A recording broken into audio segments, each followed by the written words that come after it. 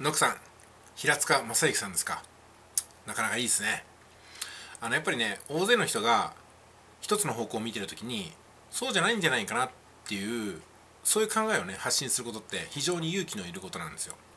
ではっきり言って感染症に対してどう思うかって一人一人違っていいと思うんですよね。恐ろしいのは同調圧力なんですよ。日本っていうのはとかくこの同調圧力の恐ろしさが半端ないわけですよね、うん、であの何ていうんですかね。マスクは何でするかっていうと生命を守るためだと思うんですよ。でもマスクをしたがゆえにこれからの時期熱中症になって死んだみたいなことになったり重症化したとことになったら一体何をしてるのか分かんないですね。で実際にそのマスクがどれだけ効果があるのかとかね。皆さんの手元にあるその何十円とか100円とか200円で買えるマスクが本当にねウイルスに対して効果があると思ってる人もちょっとおめでたいというかね。はっきり言って大して意味はないと思います。あれはマスクをしてるよっていうふうなことで周りの人を安心させる効果があるんですよ。でも実際にウイルスの侵入を防げるかウイルスの飛沫を防げるかっていうとこれはね医療用マスクでもない限り皆さんの手軽に買えるマスクではその効果はないということをまあ私の説ですけどね、うん、そうは言っても、まあ、ダメだろうっていう人もいるんでそういう方の考えも尊重するんで私はこうだとは言いませんけどもマスクのことを皆さんねえらい詳しくなりましたよね。で詳しくなったはずなのに2点3点意見が分かれるしいわゆる専門家会議ってのもいきなりクビになったりするわけですよね。だからねはっきり言ってね誰も何も分かってない中で自分が思いたいものを力説してるだけというものがまあ蔓延してると思うんですよ。それが証拠にですね私こう思うんですよ。マスクをしてる人っていうのは誰が感染してるかわからないし自分ももしかして感染しててね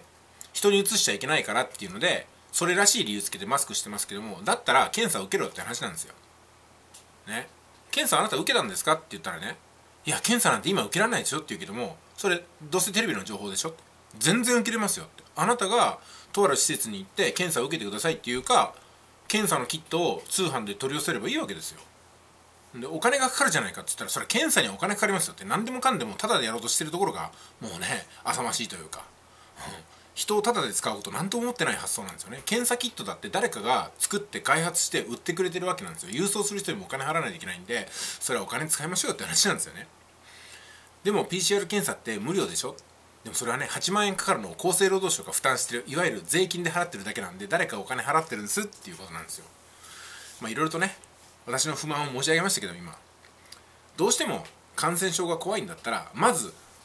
あなたがねあなたが検査を受けなさいよって話なんですよ。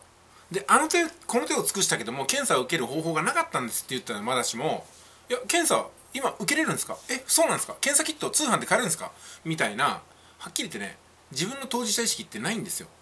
同調圧力の怖さですけどもみんながマスクしてるからマスクする。PCR 検査はみんなが受けにくいって言ってるから調べもせずに行動も起こさずにダメだろうと思ってえそうなんですか？みたいなことになってるというね。いや映画って本当に面白いもんですよね。えそれからですね私はねほとんど人に会うことがありません。ですんでマスクをする必要はないとは思ってるんですけどもただ外に出かける時にねマスクをしてないと白い目で見られる同調圧力が怖くてマスクをしますね。ということで世間の目を一番恐れているのは私じゃないでしょうかという結論になりました。ごきげんよう。